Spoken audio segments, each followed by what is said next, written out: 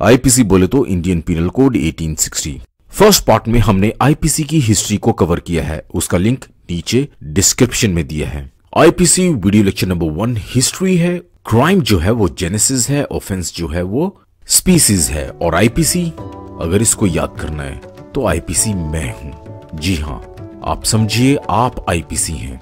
यही ट्रिक है 23 chapter 511 sections को याद करने का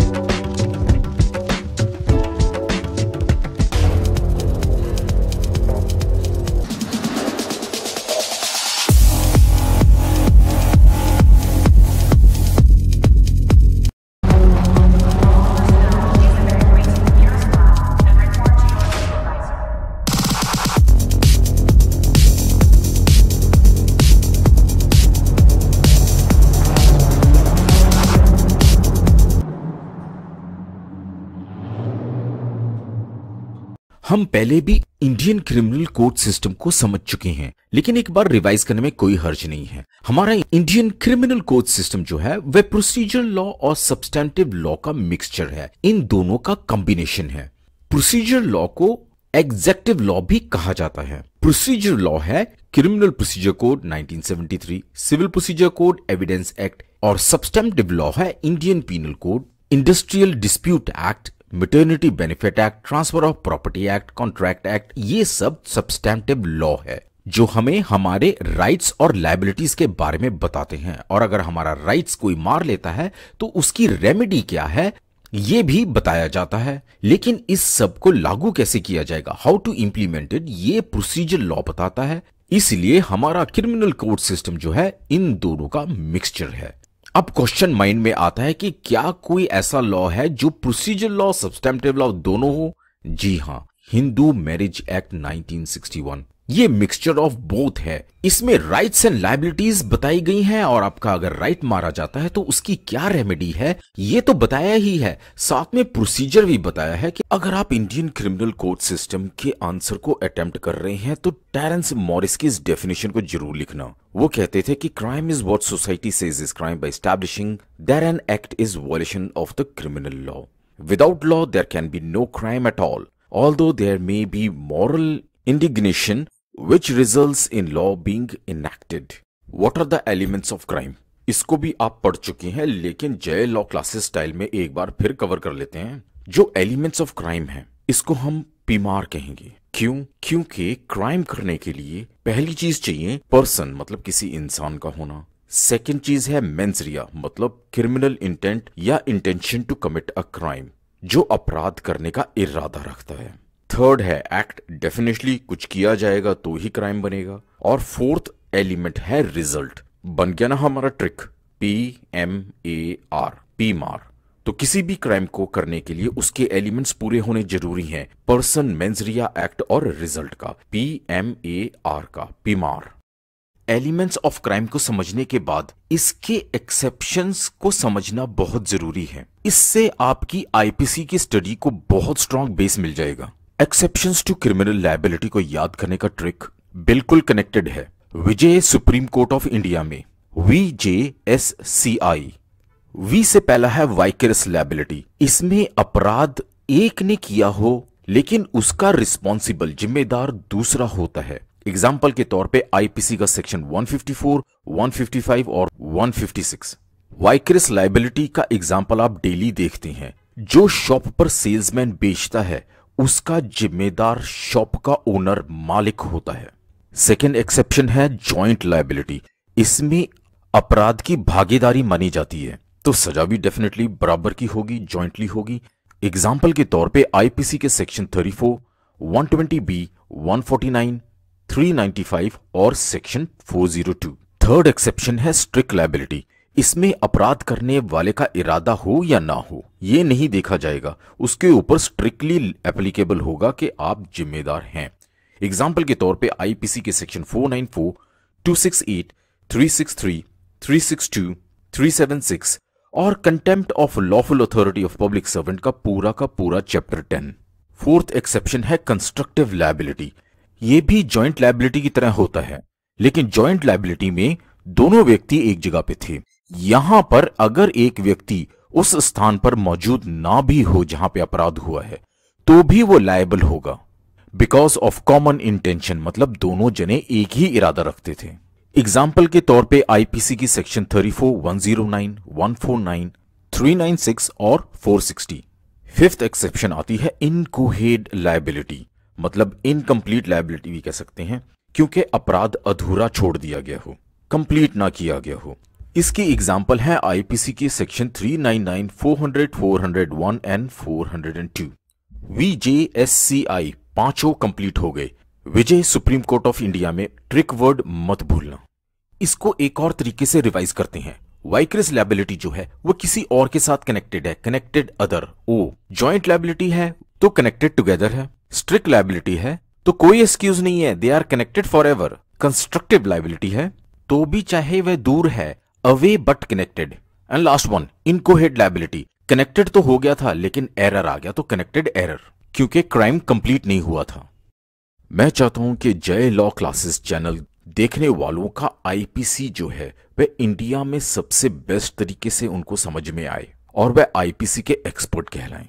इसलिए एलिमेंट्स ऑफ़ क्राइम और उसके एक्सेप्शन को समझना बहुत ज़रूरी है। एलिमेंट्स ऑफ़ क्राइम पी मार से बनता है। मतलब अगर ये होगा तो ही वह क्राइम पूरा माना जाएगा। पी मार पी मतलब पर्सन एम मतलब मोटिव ए मतलब एक्ट और आर मतलब रिज़ल्ट इसमें से कुछ भी एक मिसिंग हो तो उसको एक्सेप्शंस की कैटेगरी में डाला जाता है। अब हम इसको और अच्छे तरीके से समझते हैं कि इनको एक्सेप्शंस क्यों कहा जाता है। वाइक्रस लाइबिलिटी इसमें पर्सन नहीं है, किसी और ने अपराध किया है तो एम ए आर आता है। एक चीज़ मिसिंग है तो ये एक्सेप्शन में आ गया। जॉइंट लाइबिलिटी इसमें तो दो परसेंट हो गए इसलिए पी मार नहीं बना। चाहे इसमें मोटिव एक्ट और रिज़ल्ट था, लेकिन पी दो होने के कारण पी मार नहीं बनता है। इसलिए यह भी एक्सेप्शन में आ गया। स्ट्रिक्ट लाइबिलिटी इसमें पर्सन है, लेकिन मोटिव नहीं है।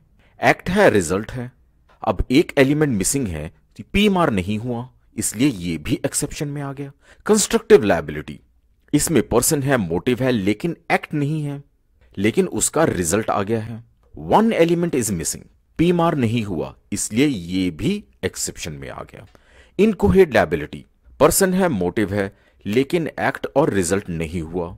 एलिमेंट ऑफ़ क्राइम मिसिंग है, इसलिए यह भी एक्सेप्शन में आ गया। If you enjoyed this example तो एक कमेंट ज़रूर करें। There are four stages of crime अपराध की चार स्टेजेस का ट्रिक है आई पा जब आईफोन हो सकता है पा मूवी हो सकती है तो ट्रिक आईपा भी हो सकता है। ये चार चीज़ें हैं इंटेंशन प्रिपरेशन अटेम्प्ट और अकम्पलिशमेंट इरादा तैयारी प्रयास और उसमें सफलता पाना। इतना याद कर लिया तो भी बहुत है लेकिन मैं डिटेल में जा रहा हूँ। इंटेंशन की सेक्शन है 121 टू 124, 124 ए और 402 प्रिपरेशन आईपीसी के सेक्शन 122, 126, 233 से लेके 235 तक 242, 243, 257, 259 266, 276, 399, 474 इन सब में दी हुई है। और अटेम्प्ट को आईपीसी ने 307 से लेकर 309 तक तो कवर किया है साथ में 326 बी 393, 398 और 511 द लास्ट वन और अकम्पलिशमेंट बाकी के सारे सेक्शन तो अकम्पलिशमेंट के बारे में ही है। ऑल मतलब सभी नहीं इन तीनों को छोड़ के मतलब इंटेंशन प्रिपरेशन और अटेम्प्ट इनके अलावा बाकी सारे सेक्शन अकम्पलिशमेंट के Hello, Namaste, Adab, Sasyakal. I hope you are enjoying studying law with me, especially Criminal Procedure Code 1973. अब आईपीसी को भी कवर कर लेते हैं। किसी ने पूछा वाई जय लॉ क्लासेस रटाफिकेशन से मतलब रटने से। ऑर्डनरी स्टूडेंट ऑर्डनरी एडवोकेट या ऑर्डनरी जज भी बन सकते हैं आप। लेकिन लॉ को समझने से आप एक्सपर्ट बन जाएँगे। कोई भी पोजीशन हो एक्सपर्ट स्टूडेंट हो एक्सपर्ट एडवोकेट हो एक्सपर्ट जज हो एक्सपर्ट कॉर्पोरेट लॉ ऑफिसर हो एटलीस्ट लॉ को समझने से आप एक्सपर्ट कहलाएँगे अपनी फ़ील्ड के। तो मेरे साथ बेर एक्ट को पढ़ लिया जाए, समझ लिया जाए और एक्सपर्ट बन लिया जाए।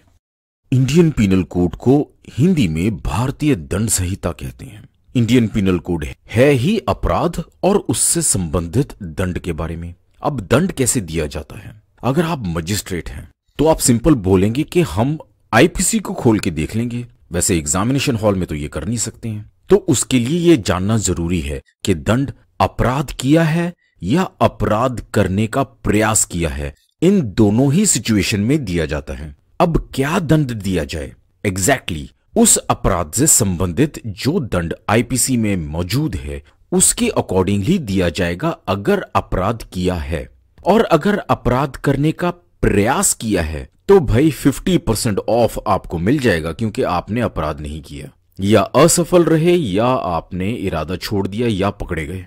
तो ऐसी स्थिति में सजा की 50 परसेंट ऑफ़ दे दी जाएगी विच मीन्स अगर अपराध करने पर 10 साल की सजा दी जाती है तो उसी अपराध का प्रयास करने पर पाँच साल की सजा दी जाएगी। हो गया ना 50 परसेंट ऑफ़ किसी भी बुक को खोलने से पहले अगर उसके कंटेंट्स के बारे में हम इंफॉर्मेशन ले लें तो बुक को पढ़ना आसान हो जाता है। आईपीसी 1860 में क्राइम के चार एलिमेंट्स के बारे में बात की गई है। जो पर्सन उसका मोटिव उस मोटिव से उसके द्वारा लिया गया एक्शन और उस एक्शन से जो रिज़ल्ट निकले, वह क्राइम होता है। पी मार्ट्रिक हम पहले कवर कर चुके हैं। फाइव एक्सेप्शन दिए हैं क्राइम्स के। टोटल 23 चैप्टर्स और 511 सेक्शंस हैं। कुछ वेबसाइट्स गलत इंफॉर्मेशन देती हैं कि 511 से ज़्यादा सेक्शन है, जो कि गलत है। बेरेट के लिए www.lawrec.com पर डिपेंड करें, जिसे मैं खुद अपडेट करता हूँ अगर लॉ में कोई अमेंडमेंट हो या कोई न्यू लॉ एक्ट लागू हो। लॉरेक डॉट कॉम टाइप करने पे ये वेबसाइट खुल जाएगी। बेर एक्ट चेक करने के लिए बेर एक्ट ऑफ़ इंडिया पे क्लिक करें। Main act of India check करें, क्योंकि वही स्टूडेंट्स चेक करते हैं। सिविल प्रोसीजर कोड को क्लिक करोगे तो ये स्क्रीन खुल जाएगी। ये पीडीएफ का ऑप्शन है। यहाँ पे कुछ ब्रीफ एक्सप्लेनेशन है। पीडीएफ पे क्लिक करते ही आपका बेयर एक्ट खुल जाएगा। So I hope you will like com. Website की खास बात यह है कि इसको एडवर्टाइजमेंट फ्री रखा गया है। लेकिन मेंटेनेंस के चार्जेस लगते हैं और हम कुछ डोनेशन भी करते हैं। तो जो डोनेट कर सकते हैं तो वो प्लीज़ ज़रूर डोनेट करें। आईपीसी के 23 चैप्टर 511 सेक्शंस को याद करने का ट्रिक आप अपने आप को आईपीसी समझें। फीमेल हैं तो भी आप अपने आप को आईपीसी समझो और मेल हो तो चाहे लटक जाओ, लेकिन अपने आप को आईपीसी समझो भाई। मैं आईपीसी हूँ। मेरी ज़िंदगी के तेईस भाग हैं। मेरा पहला भाग, मेरा इंट्रोडक्शन एक से पाँच तक है। मेरा जन्म तो 6 अक्टूबर 1860 को हुआ था, लेकिन चलना मैंने दो साल बाद हैप्पी न्यू ईयर वाले दिन किया था मतलब फ़र्स्ट जनवरी 1862 जैसे सभी को आदत होती है नाम का कारण पूछना कि ये कैसा नाम है, उसी तरीके से मुझे अपनी ज़िंदगी के दूसरे भाग चैप्टर टू में ये बताना पड़ता है, साधारण स्पष्टीकरण देके कि मेरा नाम आईपीसी क्यों है। क्योंकि मेरा इंट्रोडक्शन पाँच तक था तो मेरा साधारण स्पष्टीकरण छह से ताश के बावन पत्तों की तरह बावन ए तक है। पहला तो मेरा नाम, दूसरा मेरा नाम ऐसा क्यों है का स्पष्टीकरण देना। फिर लोग पूछते हैं कि मेरा काम क्या है तो भाई, मेरा काम ही गलत काम करने वालों को उसकी सजा के बारे में बताना। इसलिए मेरी ज़िंदगी का तीसरा चैप्टर है ऑफ़ पनिशमेंट्स मेरा स्पष्टीकरण 52 पे खत्म हुआ था तो ऑब्वियसली 53 पर मेरे काम पनिशमेंट्स के बारे में शुरू होता है और 75 तक चलता है। देख लेना, ये वीडियो लेक्चर खत्म होने तक आपको कितने सारे सेक्शंस याद हो जाएँगे। आप खुद हैरान हो जाएँगे। तो मेरे इंट्रोडक्शन और एक्सप्लेनेशन देने के बाद, मेरा काम पनिशमेंट देने को जानने के बाद मुझसे पूछा जाता है कि क्या मैं हर गलत काम की सजा देता हूँ? तो चौथी बात मेरी यही आती है कि भाई नहीं। कुछ अपराध होके भी अपराध नहीं होते हैं। उनकी सजा नहीं दी जाती। इसलिए मेरी ज़िंदगी का चौथा भाग है जर्नल एक्सेप्शन साधारण अपवाद 76 से लेके 106 तक। ये बात सब जानते हैं कि कोई भी व्यक्ति अपराधी पैदा नहीं होता है, उसको हालात बना देते हैं। ये कैसे हो सकता है? तो पहली चीज़ जो हमने देखी कि इंसान के अपराध करने का सबसे बड़ा कारण उसको बहकाना है। आज के दौर में बहकाने वाला काम बहुत ही आसानी और तेज़ी से व्हाट्सएप के मैसेज के थ्रू हो जाता है। मैं केवल व्हाट्सएप को ब्लेम नहीं करूँगा। फेसबुक ट्विटर इंस्टाग्राम टिकटॉक और यूट्यूब पर भी भड़काने वाले मैसेजेस मिल जाते हैं। हैं तो ये सोशल मीडिया लेकिन आजकल एंटी सोशल बने हुए हैं। किसी भी अच्छे व्यक्ति को अपराधी बनाना बड़ा आसान काम है। बस सिंपली आप उसके इमोशन के साथ खेलें। एक शरीफ इंसान अगर घर पे बैठा चाय भी पी रहा है तो अगर वह पोस्ट ऐसा पढ़ता है कि उसका अल्लाह भगवान जीसस या जो भी उसका सबसे बड़ा विश्वास हो भगवान में, वह खतरे में है तो गुस्से के मारे उसका दिमाग काम करना बंद कर देता है कि क्या सही है और गलत और उसके लिए अपराध कर बैठता है। दूसरी चीज़ उसका घर या उसका रिश्तेदार खतरे में है। ऐसा पढ़ने पर, जानने पर या भड़काने पर वह कोई भी अपराध करने को तैयार हो जाता है। अरे, जिस ऊपर वाले ने दुनिया बनाई है, वह खतरे में क्या होगा? तो मेरे साथ कसम खाएँ, किसी के भड़कावे में ना आए, धारा 107 से 120 तक को अच्छी तरह से समझ जाएँ।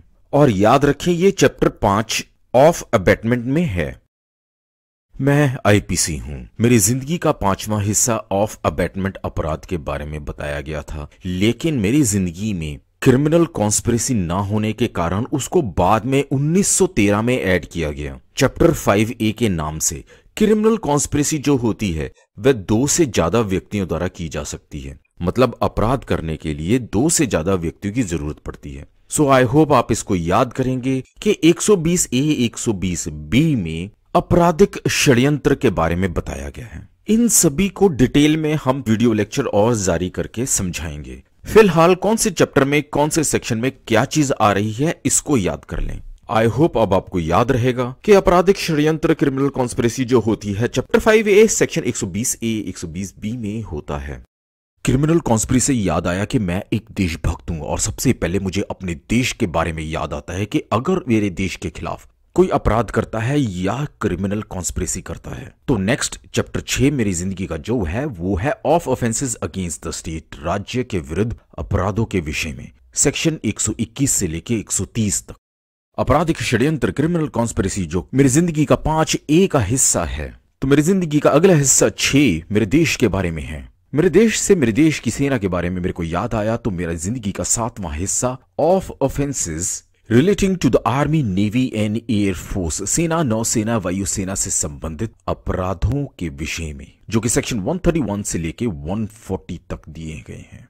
मैं आईपीसी हूँ। आई होप ये ट्रिक याद हो गया होगा। रिवाइज करें थोड़ा। मेरी ज़िंदगी के तेईस हिस्से हैं, जो कि तेईस चैप्टर के रूप में हैं। मेरी ज़िंदगी के पहले पाँच हिस्से बड़े आसान हैं, इसलिए पाँच ए को याद ज़रूर करना, जो कि यस बाद में ऐड किया गया था। आपराधिक षड्यंत्र क्रिमिनल कॉन्स्पिरेसी। धारा 120 ए, धारा 120 बी, नेक्स्ट चैप्टर 6 जो कि मेरे देश से संबंधित अपराध और उसके दंड के बारे में है। आईपीसी में स्टेट का मतलब यहाँ पर देश से ही है। देश के बाद चैप्टर सात, जो कि देश की सेना के बारे में है, of offences against the army, Indian navy और इंडियन एयरफोर्स अब आता है चैप्टर आठ, ऑब्वियसली देश देश की सेना के बाद आता है देश की जनता के बारे में। Offences against public tranquility section 141 से 160 तक। देश देश की सेना और देश की जनता के बाद चैप्टर 9 में देश के लोक सेवक मतलब सरकारी अफसर या कर्मचारी के बारे में आता है। चैप्टर 9 ऑफ़ ऑफेंसेस बाय और रिलेटिंग टू पब्लिक सर्वेंट्स लोक सेवकों द्वारा या उनसे संबंधित अपराधों के विषय में।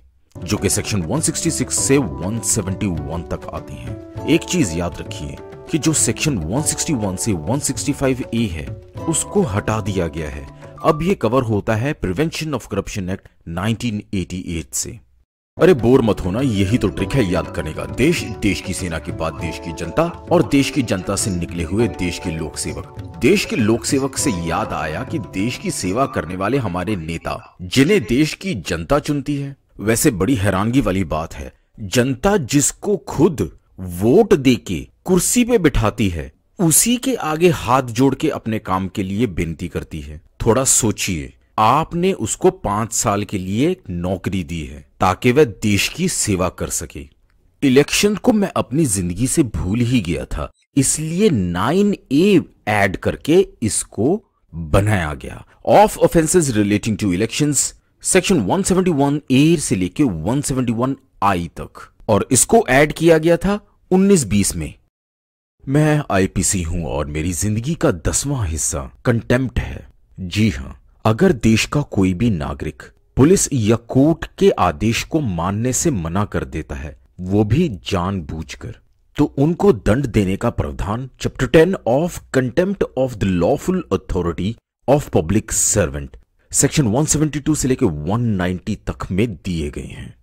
अपराधी को सजा देने के लिए, पब्लिक को इंसाफ देने के लिए, अगर पब्लिक पुलिस के साथ या पब्लिक कोर्ट वालों के साथ एक और एक ग्यारह हो जाए मतलब सच्ची बात बताए तो वह देश की तरक्की करने से कोई नहीं रोक सकता। लेकिन झूठी गवाही देने वालों को, झूठे सर्टिफिकेट या एफिडेविट देने वालों, मैंने अपनी ज़िंदगी के चैप्टर 11 में प्रावधान दिया है of false evidence and offence against public justice under section 191 to section 229 A सिक्का एक का हो या दो का, उसके साथ कोई भी छेड़छाड़ करना, उसका वज़न कम करना या नकली सिक्का बनाना या फिर किसी भी प्रकार की सरकारी स्टैंप को बना लेना या उसका यूज़ करना मिसयूज करना। बिना अथॉरिटी के उनको सजा देने का चैप्टर 12 में प्रावधान दिया है of offences relating to coin and government stamps under section 230 to section 263 A Baba Guru Nanak Dev जी के तेरा तेरा बोल के सब कुछ देने के बावजूद प्रॉफिट में रहने पर बिजनेसमैन को कम से कम ये तो सीखना चाहिए था कि हेराफेरी ना करें, लेकिन हेराफेरी करने वाले बिजनेसमैन के लिए जो नापतोल में हेराफेरी करते हैं मैंने अपनी ज़िंदगी के चैप्टर तेरह में इसका प्रावधान दिया है। Of offences relating to weights and measures under section 264 to section 267 अब बात करते हैं देश के लोगों की उस सुरक्षा से, जिसे फौज नहीं आईपीसी रेगुलेट करता है। जैसे कि सेहत से खिलवाड़ करने वालों को दंडित करना। चाहे वो मेडिकल नेग्लिजेंस हो सेल ऑफ़ बैंड मेडिसिन हो, या क्वारंटाइन रूल का तोड़ना हो। या फिर खाने पीने की चीज़ों में मिलावट करने वालों को दंड देना हो। उस सुरक्षा से जो कि पब्लिक प्लेस पे सर्कस जैसी करतब करते दौरान खुद को या दूसरे को खतरों में डाल सकते हैं और उस सुरक्षा से जिसे वर्क प्लेस पे नियम का पालन ना करने से खुद को या दूसरों को खतरे में डाल सकते हैं। यहाँ तक कि डिसेंसी ना मेंटेन करने वालों को भी सजा देना। इन सब बातों को मैंने अपनी ज़िंदगी के चैप्टर 14 में of offences relating to the public health, safety, convenience, decency and moral में दिया है, जिसे आप सेक्शन 268 से 294 ए में कवर कर सकते वर्ल्ड की मोस्ट डेवलप्ड नेशंस अमेरिका और यूरोप है। बस अमेरिका और यूरोप की तरह, इंडिया भी 1947 में जब इंडिपेंडेंस मिली थी तो सेक्युलर कंट्री बनना चाहता था। इसीलिए इंडिया में हर रिलीजन का ध्यान रखा जाता है। हिंदू रिलीजियस मेजोरिटी हो या मुस्लिम रिलीजियस मेजोरिटी हो क्रिश्चियन माइनॉरिटी हो या सिख माइनॉरिटी हो, सबकी भावना का ध्यान रखना, वरना मैं अपने जीवन का पंद्रहवा भाग मतलब चैप्टर 15 में दंड दे सकता हूँ। दंड means punishment under section 295 to section 298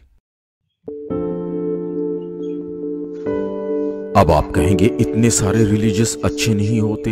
नहीं, अच्छे होते हैं। ये देश को लाइवली और कलरफुल बनाता है, वरना ज़िंदगी मोनोटोनस और बोरिंग बन जाए।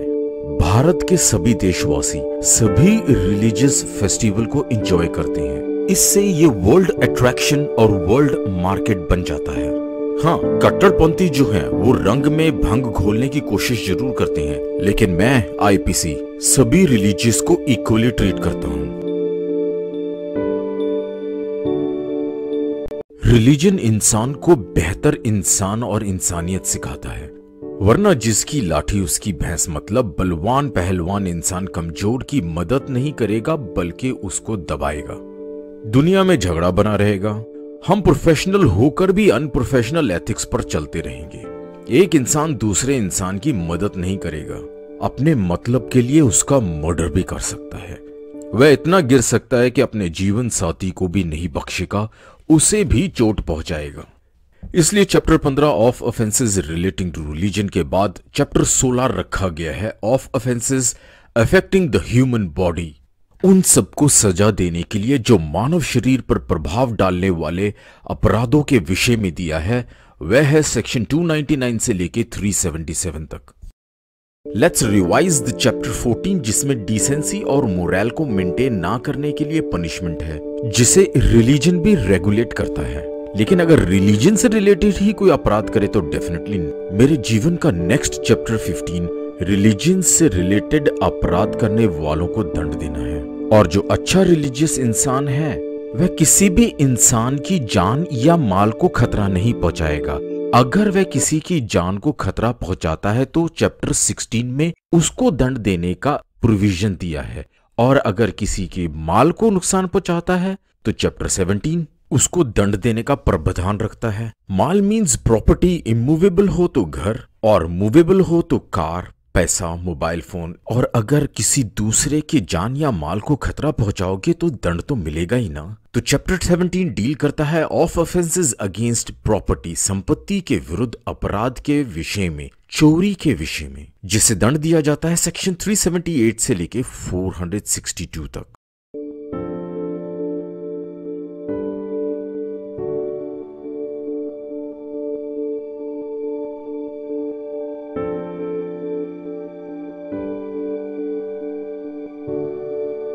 चैप्टर 17 प्रॉपर्टी से रिलेटेड क्राइम और पनिशमेंट है। तो नेक्स्ट चैप्टर 18 चैप्टर 17 से कनेक्टेड है। जी हाँ प्रॉपर्टी को डॉक्यूमेंट्स में फॉर्जरी टैंपरिंग करके अपना मालकाना हक जता सकता है। न केवल प्रॉपर्टी किसी भी प्रकार का डॉक्यूमेंट को टैंपर कर अपना या या किसी और को फ़ायदा या नुकसान पहुंचाना। तो उसको सजा देने के लिए नेक्स्ट चैप्टर है chapter 18 of offences relating to documents and property marks दस्तावेजों और संपत्ति चिन्हों संबंधित अपराधों के विषय में। ये आता है under section 463 to section 489 E chapter 18 के फौजरी और टेम्परिंग ऑफ़ डॉक्यूमेंट से मुझे याद आया जो पब्लिक है, वह आपस में कॉन्ट्रैक्ट करती है और कॉन्ट्रैक्ट तोड़ने पर मुझे दंड पनिशमेंट देनी पड़ती है। तो chapter 19 is about of the criminal breach of contract of service जब आईपीसी बना था तो सेक्शन 490 से लेके 492 तक थे। लेकिन अब सिर्फ़ एक सेक्शन रह गया है सेक्शन 491 कॉन्ट्रैक्ट से याद आया कि काफ़ी कंट्रोवर्सी होती है जब मैरिज के टॉपिक को एज अ कॉन्ट्रैक्ट कहा जाता है। वैसे होता तो कॉन्ट्रैक्ट ही है, आप आदिकाल से देख लें या मॉडर्न जमाना देख लें। शुरू से लेके अभी तक चलता आ रहा ये फोटोग्राफ्स नहीं। शायद कुछ लोग बुरा मान जाएँ। टॉपिक पे वापस आते हैं। कॉन्ट्रैक्ट के बाद मेरी ज़िंदगी का chapter twenty of offences relating to marriage विवाह संबंधित अपराध के विषय में, जो आते हैं सेक्शन 493 से लेके 498 तक।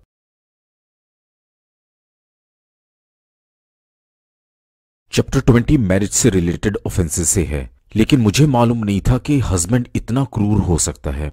या उसके रिश्तेदार। इसलिए चैप्टर 20 ए को बाद में ऐड किया गया। मैं कोई फोटोग्राफ नहीं डालना चाहता हूँ क्योंकि मैं ऐसी चीज़ को देखना भी पसंद नहीं करता हूँ। Chapter 20 A deals with cruelty by husband और रिलेटिव्स ऑफ़ हस्बैंड इसको सेक्शन 498 ए में डील किया गया है। मोस्ट कॉन्ट्रोवर्सल जिसकी सुरक्षा के लिए इसको बनाया गया था। उसको तो शायद इसको इस्तेमाल करना भी नहीं आता है, लेकिन इसका मिसयूज करना बहुत लोगों को आता है। चैप्टर 20 विवाह संबंधित अपराध से रिलेटेड है। चैप्टर 20 ए हस्बैंड की क्रूरता संबंधित रिलेटेड है। लेकिन कोई जानबूझ के किसी को बदनाम करे तो नेक्स्ट चैप्टर है चैप्टर 21 ऑफ़ डेफेमेशन मानहानि के विषय में, जिसे कवर किया है सेक्शन 499 से लेके सेक्शन 502 तक। जेलसी या खुद की कमज़ोरी बड़ा कारण होता है, किसी को बदनाम करना या किसी की बेइज्जती करना इंसल्ट करना। हाई लेवल पर हो तो चैप्टर 22 उसी के लिए बना है।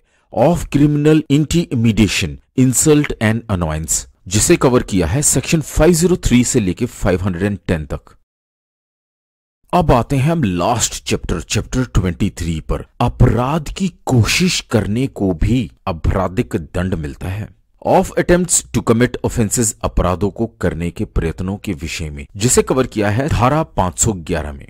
अगर लेक्चर पसंद आया तो मेरी एक छोटी सी रिक्वेस्ट बड़ों को रिस्पेक्ट करें, छोटों को प्यार दें, वरना सारी एजुकेशन हो जाएगी बेकार।